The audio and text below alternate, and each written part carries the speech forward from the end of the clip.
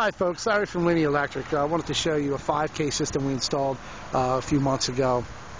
This is a pole mount, and the reason why it's pole mount is because the yard's kind of tight. Uh, so we wanted to keep it up high, and also the customer wanted it up high so that he could get under it, walk under it. He wouldn't lose a lot of room in his yard because the yard's not that big. So what we did was we put it on six-inch galvanized pipe. Uh, they're cemented in the ground with big footers at the bottom to hold them up, and we actually custom made this racking system. It didn't come like this from the factory. We ordered the racking, cut the pieces, did some welding, uh, so we could get it to look like this. And what we have here is we have 24 uh, 205 Kyocera solar panels, 205 watt. All right, I'll take you over to the back of the array and I'll show you what the back of the array looks like. Okay, here we are on the back of the array, and it's a string configuration.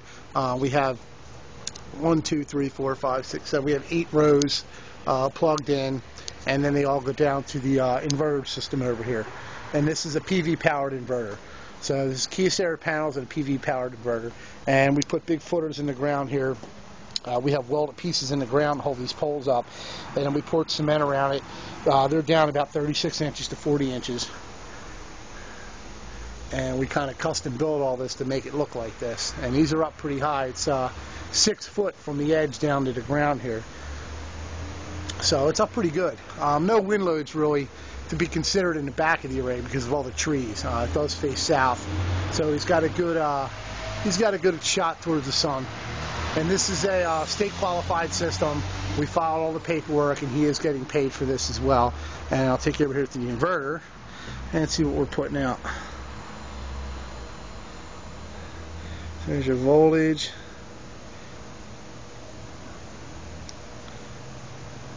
Watts coming in, voltage. 251 DC volts and 3700 watts. The sun just went behind a cloud too, so the system's doing very, very well. And again, I just took uh, two pieces of pipe, put some strut up here, mounted the inverter, and uh, went over to the uh, main electrical panel, which is over this way. And I'll take you over to kilowatt meter and I'll show you uh, the kilowatt meter is spinning forwards and we'll see his main electrical meter is spinning backwards because these two meters are right next to each other. So this is a good vid to show you guys, uh, one moving forward and one moving backwards. Okay? So I'll take you back over there and I'll, I'll show you the meters, what they're doing. Uh, but again, this is displayed uh, right on the inverter here. The inverter is mounted outside. It's a weatherproof inverter. It has the DC disconnect down the bottom for code. So we'll take a walk over to the uh, kilowatt meter now. Okay, we're over here at the kilowatt meter. And if you look here, you can see her spinning. She's spinning pretty good. That's all the solar energy coming in from the array. That's not their main electrical meter. This is the meter for the solar renewable energy credits that he'll get paid from from the state.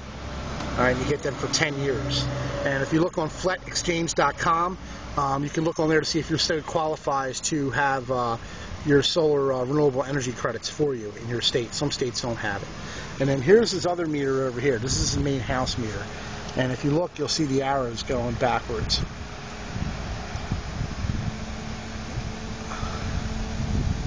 See it running backwards?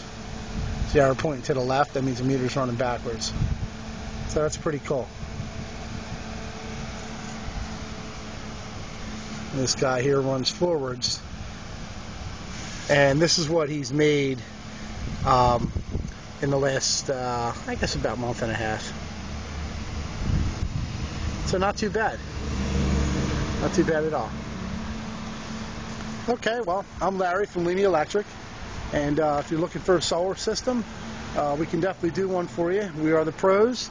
So give us a shout, www.leamyelectricinc.com. And uh, we'll see you out there. Thanks for watching.